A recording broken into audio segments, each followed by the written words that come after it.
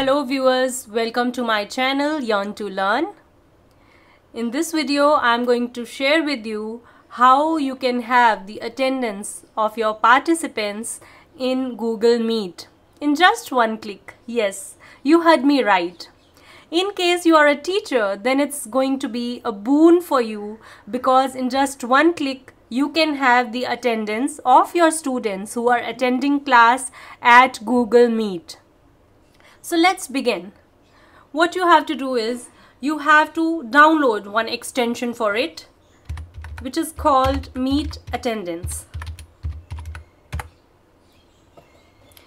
Let's click it. It is asking add to Chrome. Yes.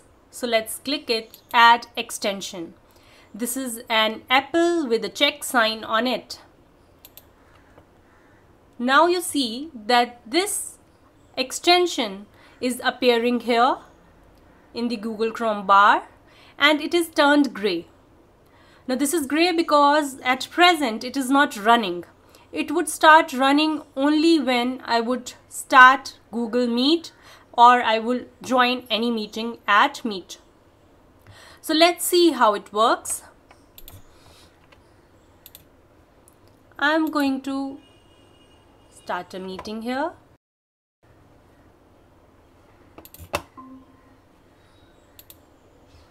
Now uh, this is the screen that would appear when you start a meeting. Now here you can see that this extension has turned red. It means it is running now. Now what I'm going to do is I'm going to have two more people in this meeting so that we can see how the attendance is generated. So now you see two more people have joined this meeting one with A and one with student icon here. Now there are total three people in this Google Meet. The very first icon on the right side bar is of people and then this second icon here if you hover your mouse over it will show more options. This is of meet attendance extension that will give you a quick list. As I said that it is just one click away I am going to just click here on this icon. And as I clicked it has taken me over to sheets. Now you can see meet attendance 2020 7 7 1846 is coming as the file name. So this is date along with timestamp now there is no list here because it is not enabled yet. I'll show you how to enable it. So this is the file that is being created. Let's go back to Meet. Let's click here so that it captures the attendance. It is showing three people here. This check sign is appearing here. Now click here to see the attendance. Now you see here at this point of time these three people are there.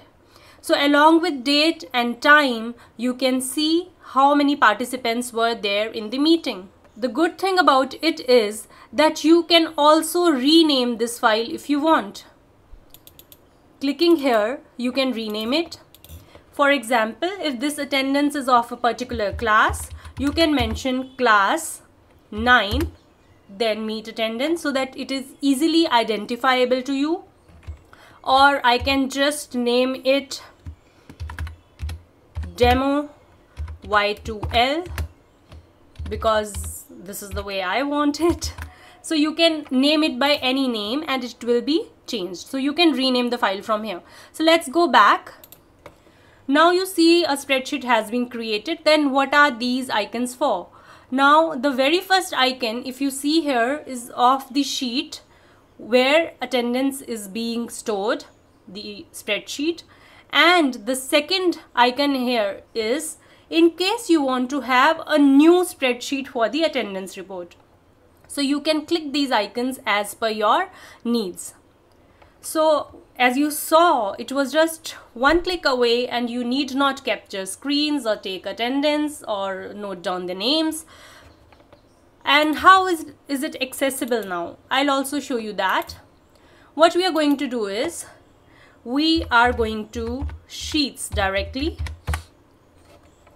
So let's go to more apps here. I'm opening sheets here with the same Gmail account. And in this you will see a list is appearing. Now these all are the attendances of Google Meets I have taken. And the latest one here is demo Y2L Meet. And when I'll click there I'll retrieve it. So again as I said this is the same file that was created. It is automatically saved so you can access your file with the name as and when you want it and create attendance reports. So wasn't it easy? If you really found it helpful, do like and share it further. Do not forget to subscribe my channel. Thank you. May God bless you all. This is Priya Handa signing off.